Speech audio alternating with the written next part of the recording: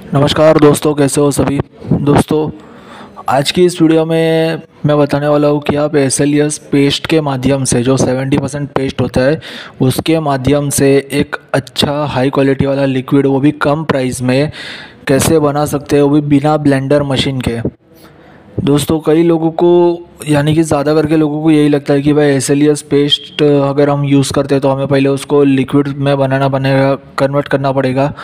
28 percent में बनाएँगे, उसके बाद फिर आसानी से मिक्स कर सकेंगे। तो भाई, इसी चीज़ को आज की इस वीडियो में मैं बताऊँगा कि आप बिना ब्लेंडर मशीन के एस पेस्ट को ही डायरेक्ट यूज़ करके एक अच्छी क्वालिटी का लिक्विड आप कैसे बना सकते हो। फिर चाहे वो डिश वॉश हो गया, चाहे डिटर्जेंट लिक्विड हो गया, आप उसको बना सकोगे बिना ब्लेंडर मशीन के। कैसे बना सकेंगे इस वीडियो में? पूरा आपको देखना होगा, आपको पूरी प्रोसीजर समझ में आ जाएगी। मैं पंद्रह लीटर का इस वीडियो में बैच बनाने वाला हूँ और मैं सभी से यही कहूँगा कि स्कीप करके केवल मेज़रमेंट मत देखो। पूरी की पूरी प्रोसीजर को ध्यान से देखना, क्योंकि ज़्यादा करके लोग मुझे उसी वीडियो पे दोबारा से क्वेश्चन करते हैं, जिसकी पूरी प्रोसीजर मैंने वीडियो में बताई हुई होती है। तो भाई, पूरी प्रोसीजर देखो, आपको क्वेश्चन करने की ज़रूरत नहीं पड़ेगी, आपको सारी प्रोसीजर अपने आप ही समझ में आ जाएगी। तो ज़्यादा बात ना करते हुए शुरू करेंगे आज का वीडियो।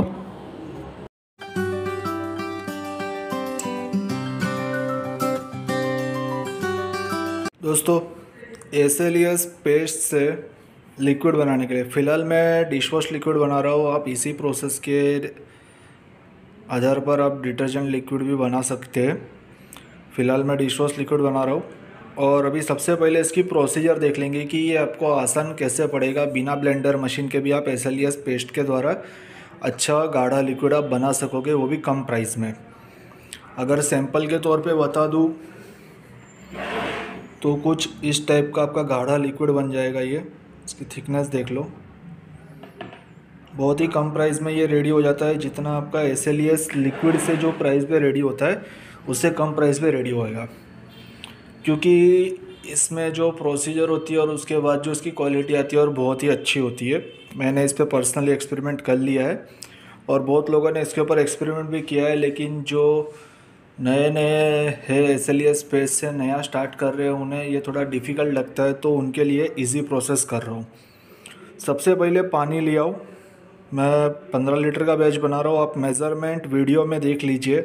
वो ज़्यादा आसान पड़ेगा। सबसे पहले मैंने पानी लिया हुआ ये पानी एसिड स्लरी और एस एल पेस्ट दोनों को मिक्स करके लिया हुआ है। जितना आप एसिड स्लरी लेते हैं, उससे चार गुना पानी लेना होता है। और जितना आप एस एल पेस्ट लेंगे, उससे डेढ़ गुना पानी लेना है, जिससे कि वो सेवेंटी परसेंट वाला ट्वेंटी एट परसेंट में कन्वर्ट हो जाए। तो खैर, अभी फ़िलहाल ये सत्रह सौ पैंतालीस ग्राम, यानी कि एक किलो सात सौ पैंतालीस ग्राम पानी है। इसमें मैं पहले लूँगा एसिड स्लरी आप कैलकुलेशन भी कर सकते हैं।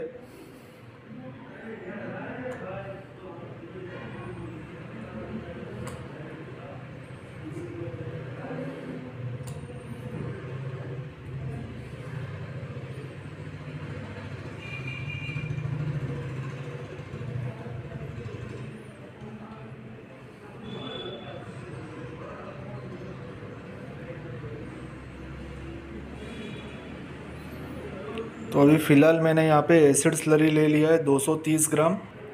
और इसी एसिड स्लरी में ये जो पानी है, इसी में एसएलएस पेस्ट को डाल देना है। तो फ़िलहाल ये 70 परसेंट वाला एसएलएस पेस्ट है, इसको भी इसी में डाल देंगे। सॉरी, पहले ज़ीरो कर लेता हूँ।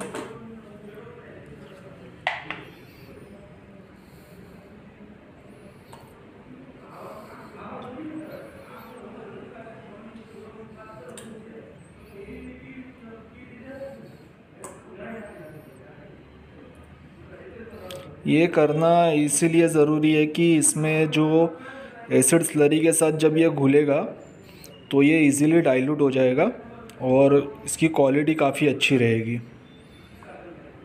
मेज़रमेंट आप वीडियो में ही देख लीजिएगा।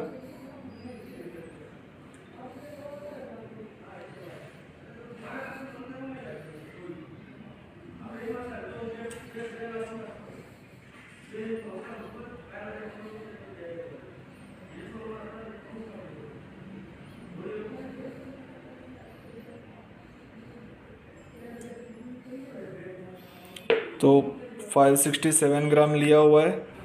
अब ये देख सकते हैं, ऊपर इसमें एस दिख रहा है नीचे एसिड स्लरी दिख रहा है। अब इन दोनों को अच्छे से मिक्स कर देना है। करीब 15-20 मिनट तक आपको मिक्स करना है, जब तक ये दोनों आपस में घुल ना जाए और एस पेस्ट जो है, वो डाइल्यूट ना हो जाए। तब तक इसको मिक्स करते जाना है। ये इजीली डाइल्यूट हो जाएगा। तो मैं आप लोगों का ज़्यादा समय नहीं लूँगा, मैं फ़िलहाल इसको पोस्ट करता हूँ और मैं अच्छे से इसको मिक्स कर देता हूँ। आपको इसको मिक्स करते जाना है, आराम आराम से और अच्छी तरीके से मिक्स करते जाना ये पूरी तरीके से घुल जाएगा। हाँ कुछ इसमें थोड़े थोड़े गट्ठे जैसे रह जाएँगे, लेकिन वो जब हम इसको कास्टिक से न्यूट्रलाइज़ करेंगे, तब ये पूरा डाइल्यूट हो जाएगा। और बिल्कुल भी नहीं लगेगा कि ये पेस्ट के माध्यम से बनाया हुआ है। ये बिल्कुल एसिड एस लिक्विड से बनाया हुआ है, ऐसा ही बन जाएगा। और साथ ही इसकी क्वालिटी भी बहुत अच्छी आएगी। तो इसको मैं थोड़ा मिक्स कर लेता हूँ। तब तक के लिए मैं वीडियो को पॉज कर रहा हूँ। आपको भी इस प्रोसेस करनी है जब तक ये पूरा मिक्स ना हो जाए, तब तक मिक्स करते जाना है। तो इसको मैंने अच्छे से मिक्स किया हुआ है और काफ़ी टाइम दे दिया। करीब दो घंटा मैंने इसको दे दिया था ठंडा होने के लिए भी। इसमें अभी आप देख सकते हैं थोड़ा थोड़ा एस एल पेस्ट है। ये अभी इसको न्यूट्रलाइज़ करने की बारी है। अब इसमें मैं डालूँगा कास्टिक सोडा की लाई। जिससे ये पूरा न्यूट्रलाइज हो जाएगा और जो इसमें थोड़ा बहुत भी जो एस का पेस्ट है, वो पूरा डाइल्यूट हो जाएगा। तो अभी इसमें कास्टिक सोडा की लाई डालेंगे।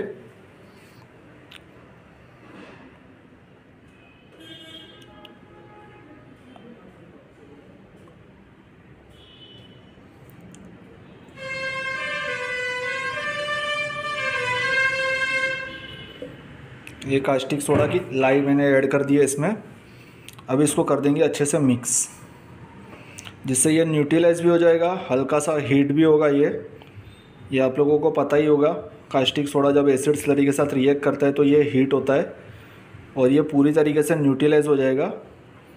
और जैसे ये हीट होगा, उसके बाद ये एसिड एसिलियस जो इसमें है, वो पूरा डाइल्यूट हो जाएगा। इसको कर देंगे अच्छे से मिक्स इसको मैं कर रहा हूँ मिक्स ये सारी प्रोसीजर आपको कम्प्लीटली अच्छे से करनी है और पूरा टाइम देना है। कई लोग जल्दबाजी करते हैं टाइम नहीं देते, जिसकी वजह से उनका प्रोडक्ट बिगड़ सकता है। तो भाई ये चीज़ मत करो। टाइम पूरा दो, जिससे आपका प्रोडक्ट अच्छा बने। ये काफ़ी गाढ़ा होते जा रहा है। इनफैक्ट मुझे मिक्स करने में भी थोड़ी दिक्कत हो रही है। ये प्रोसीजर पूरी कर लो और इसको न्यूट्रलाइज़ कर लो। अभी फ़िलहाल इसको न्यूट्रलाइज़ कर दिया है मैंने। और इसको अच्छे से मिक्स कर देता हूँ और फिर इसको छोड़ देंगे ठंडा होने के लिए, क्योंकि ये न्यूट्रलाइज होने के बाद गर्म हो गया रहता है, सभी को पता है। तो अब इसको ठंडा होने के लिए छोड़ देते हैं। तो वही न्यूट्रलाइजेशन की प्रोसेस कंप्लीट हो जाती है। उसके बाद अभी ये मेरा पंद्रह लीटर का बैच मैं बना रहा हूँ तो मैंने इसमें बारह लीटर पानी ले लिया है। देख सकते हो बारह हज़ार ग्राम है, सादा पानी है। इसके अंदर इसको पूरा ऐड कर देंगे। तो अभी इसको पूरा मैं इसमें ऐड कर दूँगा। ये पूरा कंप्लीट हो चुका है। ठंडा भी हो गया है। आपको जब तक ये ठंडा हो जाए, तब तक आपको टाइम देना और तब तक आपको टाइम देना है। जब ये पूरा ठंडा हो जाए, उसके बाद फिर आपको आगे की प्रोसीजर करनी है। तो इसको पूरा इसके अंदर ऐड कर देंगे।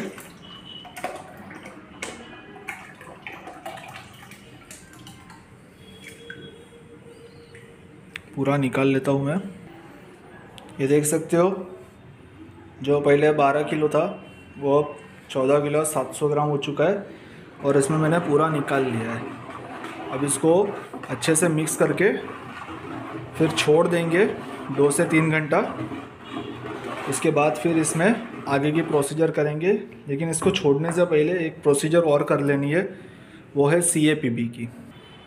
फ़िलहाल इस मशीन को ज़ीरो कर दिया है और इसमें सी ए पी भी ऐड करूँगा। सी ए पी भी ऐड करने के बाद आपको 75 ग्राम तक सी ए पी भी लेना है। उसके बाद फिर इसको मिक्स करके छोड़ देना है तीन से चार घंटा।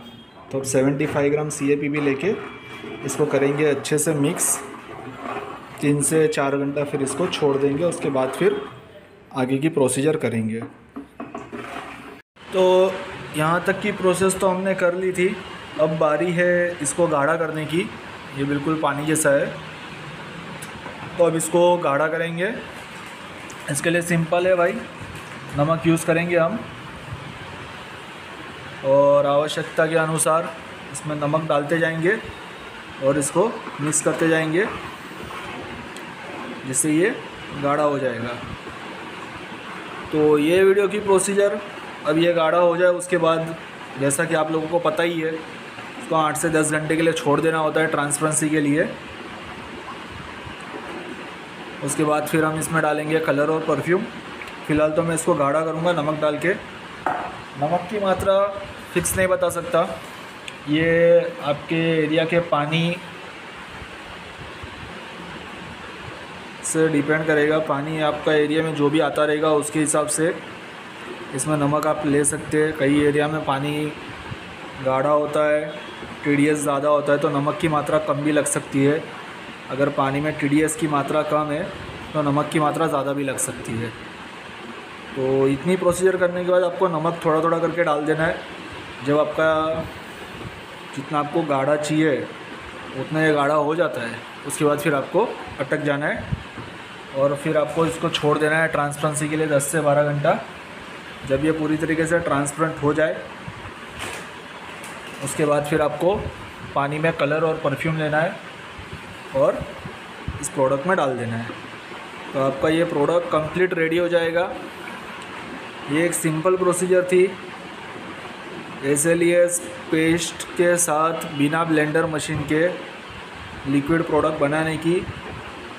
अब इस तरीके से एस पेस्ट के द्वारा लिक्विड बना सकते हैं। और हाँ एक और बात, जब ये आपका लिक्विड गाढ़ा हो जाए बेसिकली हम जो लिक्विड बनाते हैं, उसको गाढ़ा कर देने के बाद ढक के रख देते ट्रांसपेरेंसी के लिए। ऐसे लिए पेस्ट से जो आप लिक्विड बनाएँगे, इसको ढक के नहीं रखना है, इसको ऐसे ही ओपन छोड़ देना है। इससे होगा ये कि जो हमने ऐसे लिए लिया हुआ है पेस्ट ये हवा में भी रिएक्ट करता है। हमारे हवा में जो ऑक्सीजन होता है, उसके साथ रिएक्ट करता है और प्रोडक्ट की जो थिकनेस होती है, इसको भी बढ़ाने का काम करता है। तो इससे आपके प्रोडक्ट में थिकनेस और भी ज़्यादा बढ़ जाएगी। मतलब ये नहीं कह सकता कि भाई लिक्विड है तो पूरा जेल बन जाएगा, ऐसा नहीं है। क्योंकि कई लोग फिर मुझे इसी बारे में बोलेंगे कि सर आपने बोला था थिकनेस बढ़ जाएगी, लेकिन थिकनेस में तो कोई डिफरेंस नहीं आया। ये डिपेंड करता है।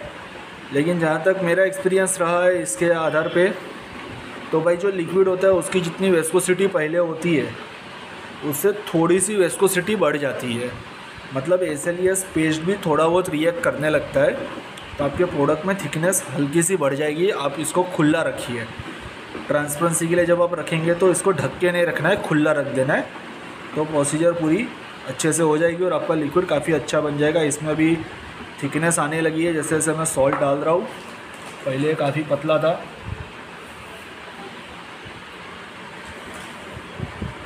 ठीक है तो ये वीडियो की प्रोसीजर यहीं तक थी। और अगर किसी को रॉ मटेरियल परचेस करना हो कांटेक्ट कर सकता है। फॉर्मूला बुक परचेस करनी हो तो भी कांटेक्ट कर सकता है। किसी को अगर प्रोडक्ट बनाना पर्सनली सीखना है पर्सनली गाइडलाइंस चाहिए तो भाई पर्सनली ट्रेनिंग भी अवेलेबल है। पूरी प्रोसीजर बताऊँगा, पूरी प्रोसीजर सिखाऊँगा। जिन लोगों को वीडियो देख के भी थोड़ी बहुत आइडिया नहीं आ रही है, उन सभी को पूरी गाइडलाइंस भी मिलेगी। इसके लिए दिए हुए नंबर पे आप मुझे व्हाट्सअप कर सकते हैं। ज़रूरत पड़े तो आप कॉल भी कर सकते हैं। और इसके अलावा मैंने और भी बहुत सारे वीडियोस अपलोड किए हुए कई लोग मुझे जो लेटेस्ट वीडियो देखते हैं, उसके बाद सीधा कांटेक्ट करते कि ये दूसरा प्रोडक्ट कोई भी हो, उसका फॉर्मुलेशन चाहिए। तो भाई उनसे भी यही चीज़ बोलूँगा कि आप एक बार मेरे चैनल की वीडियो लिस्ट को आप एक बार चेकआउट कीजिए। मैंने बहुत सारे फॉर्मुलेशन भी दिए हुए केमिकल इन्फॉर्मेशन भी मैंने दी है कि आप कौन से कौन से केमिकल को किस तरीके से यूज़ कर सकते हैं। हालाँकि फ़िलहाल थोड़ा बिज़ी हूँ, इस वजह से मैं वीडियो नहीं ला पा रहा हूँ। और अभी ज़्यादा करके लोग ऐसे लिए स्पेस से प्रोडक्ट बनाना चाहते हैं। इसमें बेनिफिट ये हो रहता है कि ट्रांसपोर्टेशन सस्ता पड़ता है। और प्लस क्वालिटी भी काफ़ी अच्छी आती है। दोनों चीज़ों का बेनिफिट है। जो आप लिक्विड से प्रोडक्ट बनाते हैं, उससे, उसके मुकाबले एस एल पेस्ट से क्वालिटी में भी इम्प्रूवमेंट होती है। थिकनेस भी बढ़ती है। इसलिए ज़्यादा करके लोग अभी एस एल पेस्ट से लिक्विड बनाने लगे लेकिन मेन दिक्कत होती है ब्लेंडर मशीन की। अभी बड़ा बैच बनाना है तो ब्लेंडर मशीन की ज़रूरत पड़ेगी। अब ब्लेंडर मशीन को कैसे परचेस करें? तो भाई वो सारी चीज़ें अगर नहीं करनी है, क्योंकि अगर आप एस एल पेस्ट को ब्लेंडर मशीन से करते हैं तो एस एल पेस्ट में पानी डाल के उसको ब्लेंडर करके आपको एयर पैक करके रखना होगा। जब तक वो पूरा एयर पैक बॉटल में जो भरा हुआ रहेगा, वो पूरा ट्रांसपेरेंट एस लिक्विड नहीं हो जाता, तब तक आप उसको यूज़ नहीं कर सकते। और वो चीज़ नहीं देनी है, आपको उतना टाइम कंज्यूम नहीं करना है तो आप इस मेथड से आसानी से लिक्विड बना सकेंगे, उतना ही टाइम लगेगा जितना आपका एस लिक्विड के द्वारा प्रोडक्ट बनाने में लगता है। और काफ़ी अच्छा प्रोडक्ट बन जाएगा। अभी इसमें थिकनेस थोड़ी आ चुकी है। और जो इस पर फॉर्म है, ये सारा बैठने देने के लिए और जब मैं इसको ट्रांसपेरेंसी के लिए छोड़ूँगा तो अभी इसमें जितनी थिकनेस है, ये थिकनेस में और भी इसमें बढ़ोतरी हो जाएगी। और जब ये पूरा 10 से 12 घंटे छोड़ने के बाद पूरा ट्रांसपेरेंट हो जाए, उसके बाद फिर बारी आएगी कलर और परफ्यूम की। तो भाई वीडियो को यहाँ तक आपने अगर पूरा देखा है तो आशा करता हूँ आपको पूरी प्रोसीजर समझ में आ गई रहेगी। अगर नहीं आई है, आपने स्किप किया हुआ है, कोई कन्फ्यूज़न दे रही है तो आप एक बार दोबारा से देखिए। पूरी प्रोसीजर को मैंने डिटेल में बताया हुआ है। ताकि आपको दिक्कत ना आए प्रोडक्ट बनाने में। Thank you